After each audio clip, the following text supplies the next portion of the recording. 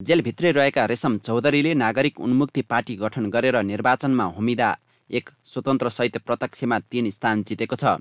तर यही चार स्थान जसले सरकार बनाए पनि उसको पक्षका लागि ठुलो सङ्ख्या हुने भएको छ। सरकार बनाउन फकाउन पनि उसलाई जेलबाट पहिला निकाल्नुपर्छ। जसको लागि शेरबहादुर देउवा सरकारले उनलाई आम माफी दिन मिल्ने गरी अध्यादेश ल्याउने निर्णय गरेको छ। सर्वोच्च अदालतमा विचाराधीन मुद्दामाथि हस्तक्षेप गर्दै कार्यपालिकाले गरेको यो निर्णयको सर्वत्र आलोचना सुरु भएको छ।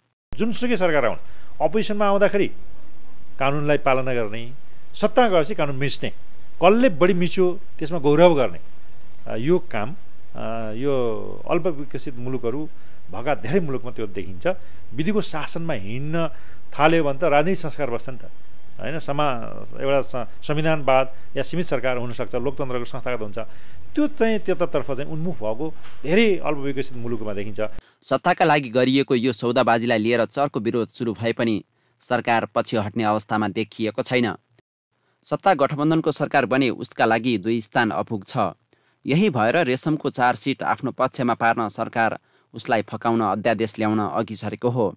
यति मात्र नभई मुलुकी फौजदारी कार्यविधि संहिता दुई हजार चौरात्तरको दफा एक सय सोह्रमा उपदफा नौ थप्दै विद्रोहीहरूलाई आम माफी दिने प्रावधान राख्ने तयारी समेत सरकारले गरेको छ। रेशम चौधरीसहित सिके राउत र नेत्र विक्रम चन्दका कार्यकर्तामाथि अदालतमा विचाराधीन मुद्दा फिर्ता लिन मिल्ने गरी अध्यादेश ल्याउने तयारी अनुरूप मन्त्री परिषदले यस्तो निर्णय गरेको हो।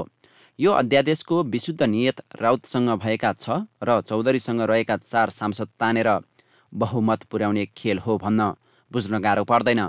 यद्यपि फौजदारी कार्यविधि संहिता दुई हजार चौरात्तरको दफा एक सय सोह्रमा अदालतमा दायर भएर विचाराधीन रहेको मुद्दा फिर्ता लिन नहुने उल्लेख छ। त्यो मुद्दा अहिले चाहिँ सुनवाईको क्रममा छ। सर्वोच्च अदालतमा सुनवाईको क्रममा भएको मुद्दालाई हतार हतार मुलुकी अपराध संहिता दुई हजार चौहत्तरको दफा एक सय सोह्रलाई जुन संशोधन गर्ने लिएको छ यसले गर्दा हाम्रो नेपालको फौजदारी न्यायमाथि ठाडो चाहिँ तपाईँको जो बन्चरो प्रहार सरकारले गरेको छ। सरकार आफै न्यायाधीश बन्न खोजेको छ आफै अदालत बन्न खोजेको छ। अदालतका सम्पूर्ण न्यायिक प्रक्रियाहरूलाई आफू अध्यादेश मार्फत त्यसलाई निश्चित पार्न खोजेको छ। यो असाध्यै दुःखदायी हो। माओवादी केन्द्रका अध्यक्ष पुष्पकमल दाहालले मङ्सिर आठ गते र नेकपा एकीकृत समाजवादीका अध्यक्ष माधव कुमार नेपालले मङ्सिर चौध गते दिल्ली बजार कारागार पुगेर रेशमलाई भेटेका थिए। दुवै नेताले नयाँ सरकारमा आउन नागरिक उन्मुक्ति पार्टीलाई आमन्त्रण गरेका थिए।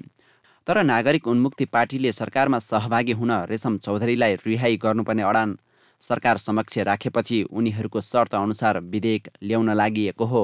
उता प्रधानमन्त्री शेरबहादुर देउवाको तर्फबाट विमलेन्द्र निधिले मङ्सिर पन्ध्र गते सिके राउतलाई बालुवाटारमा भेट गरिसकेका छन्।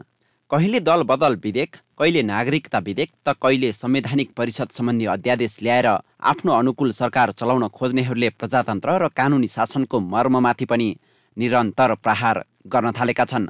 रेशम विधेयक प्रकरण त्यसैको कडी हो। क्यामेरामा निर्जला राईका साथ ऋषि खतिवडाको रिपोर्ट।